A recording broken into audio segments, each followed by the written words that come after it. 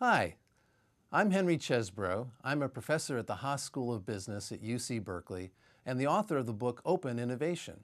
I want to talk to you a little bit about this model and this book. It's a way of companies doing innovation and R&D that where they make much greater use of external ideas and technologies in their own business and in turn let their unused ideas be used by others in their business.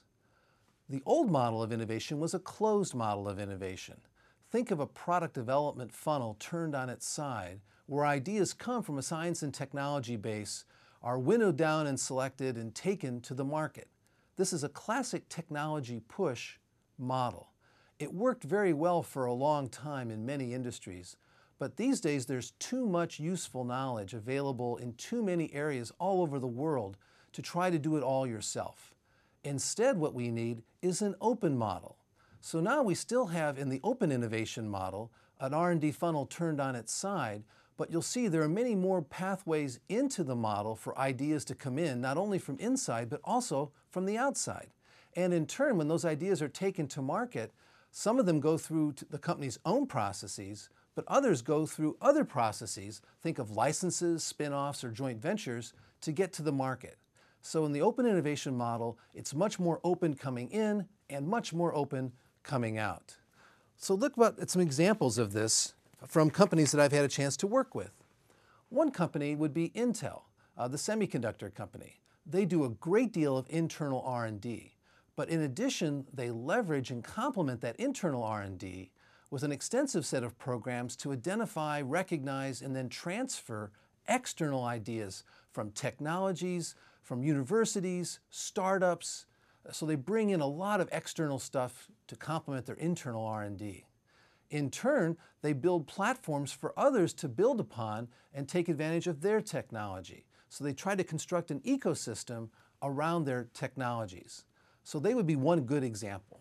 A second example, also in the computer industry, would be IBM, where IBM, like Intel, has a strong, extensive internal program of R&D, but they leverage and extend that by partnering with open source software projects, for example, think of Linux or Java, and then building complementary goods that build on top of that, and then wrapping around that their IBM Global Services offering that install all of that on the customer's premises to the customer's requirements. IBM also does a lot to let their unused ideas go to the outside. They have a very active outbound licensing program they work with other companies and allow them to use IBM facilities to make semiconductor chips. So they've really become much more open, both coming into IBM and going out. And this is not restricted to high tech. Procter & Gamble in the consumer packaged goods space has also created a program of open innovation. They have a very strong group of technology scouts that go out and look for external ideas to bring into the company they also do a lot with their unused patents to let others make use of them with Procter & Gamble. So whether it's in high-tech or consumer packaged goods, open innovation is becoming a much more powerful force in how companies are doing innovation. And this brings us to UTEK.